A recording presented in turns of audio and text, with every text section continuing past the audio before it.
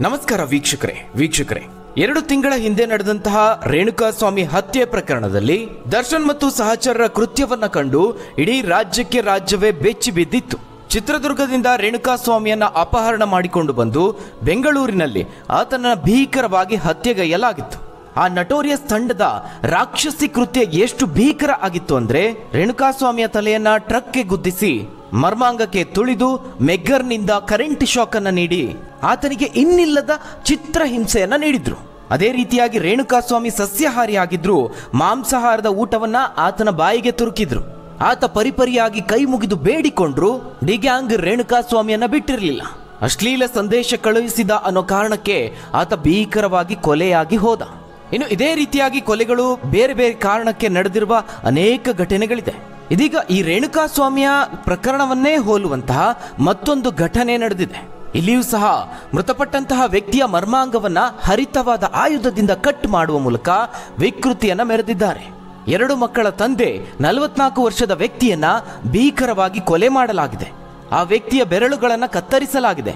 ನಂತರ ಮೂಳೆಯನ್ನ ಮುರಿದು ಕಣ್ಣುಗಳನ್ನು ಕೀಳಲಾಗಿದೆ. ಕೇವಲ ಅಷ್ಟಕ್ಕೆ ಸುಮ್ಮನಾಗದಂತಹ ಹಂತಕರು ಆ ವ್ಯಕ್ತಿಯ ಮರ್ಮಾಂಗವನ್ನ ಹರಿತವಾದ ಆಯುಧದಿಂದ ಕಟ್ ಮಾಡುವ ಮೂಲಕ ವಿಕೃತಿ ಮೆರೆದಿದ್ದಾರೆ.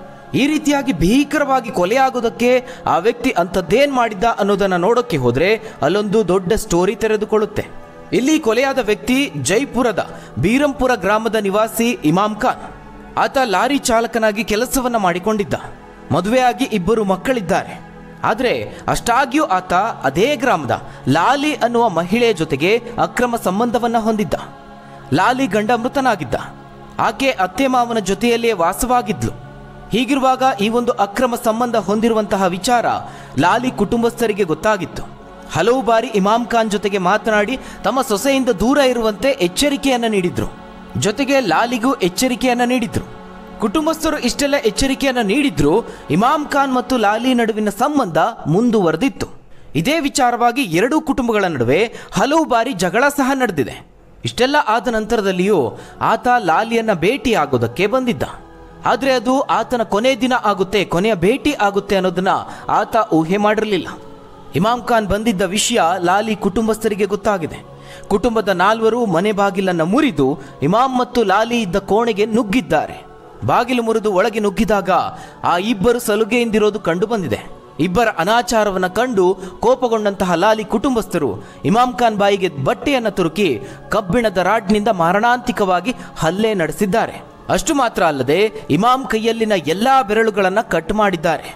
ಕಬ್ಬಿಣದ ರಾಡ್ನಿಂದ ಹಲ್ಲೆ ಮಾಡಿದ್ದರಿಂದ ಮೂಳೆಗಳು ಸಹ ಮುರಿದಿದೆ. ನಂತರ ಕಣ್ಣುಗಳನ್ನು ಕಿತ್ತು ಹಾಕಿ ಮರ್ಮಾಂಗವನ್ನು ಕತ್ತರಿಸಿದ್ದಾರೆ. ಪರಿಣಾಮ ಆತ ಸ್ಥಳದಲ್ಲಿಯೇ ಮೃತನಾಗಿದ್ದಾನೆ. ಈ ಒಂದು ವಿಚಾರ ತಿಳಿತಾ ಇದ್ದಂತೆ ಗ್ರಾಮಕ್ಕೆ ಪೊಲೀಸರು ತೆರಳಿದ್ದಾರೆ, ನಾಲ್ವರನ್ನ ವಶಕ್ಕೆ ಪಡೆದುಕೊಂಡಿದ್ದಾರೆ. ಶವವನ್ನ ಮರಣೋತ್ತರ ಪರೀಕ್ಷೆಗಾಗಿ ಸಾರ್ವಜನಿಕ ಆಸ್ಪತ್ರೆಗೆ ರವಾನಿಸಿದ್ದಾರೆ. ಮತ್ತೊಂದು ಕಡೆ ಮೃತನ ಕುಟುಂಬಸ್ಥರ ಆಕ್ರಂದನ ಮುಗಿಲು ಮುಟ್ಟಿದೆ. ರೇಣುಕಾಸ್ವಾಮಿ ಪ್ರಕರಣದಲ್ಲಿ ಆತ ಅಶ್ಲೀಲ ಸಂದೇಶವನ್ನ ಕಳುಹಿಸಿದ್ದ. ಇಲ್ಲಿ ಇಮಾಮ್ ಖಾನ್ ಅಕ್ರಮ ಸಂಬಂಧವನ್ನ ಬಯಸಿದ್ದ. ಆದರೆ ಅಂತ್ಯ ಮಾತ್ರ ಬಹಳ ದಾರುಣವಾಗಿದೆ, ಭೀಕರವಾಗಿದೆ.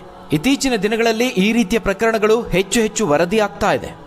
ಅನೈತಿಕ ಚಟುವಟಿಕೆಗಳು ಹೆಚ್ಚಾಗ್ತಾ ಇದೆ, ಕೊಲೆಯಲ್ಲಿ ಅಂತ್ಯವಾಗ್ತಾ ಇದೆ. ಹಾಗಾದ್ರೆ ವೀಕ್ಷಕರೇ, ಈ ಬಗ್ಗೆ ನೀವೇನಂತೀರಾ? ನಿಮ್ಮ ಅನಿಸಿಕೆ, ಅಭಿಪ್ರಾಯವನ್ನ ಕಮೆಂಟ್ ಮೂಲಕವಾಗಿ ತಿಳಿಸಿ. ಧನ್ಯವಾದಗಳು ವೀಕ್ಷಕರೇ.